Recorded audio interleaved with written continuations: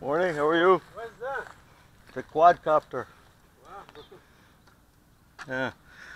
Little camera on it so I get video from the air. Yeah, see? Yeah, see See? You're on candid camera. Wow, nice. yeah, 300 $350. Yeah.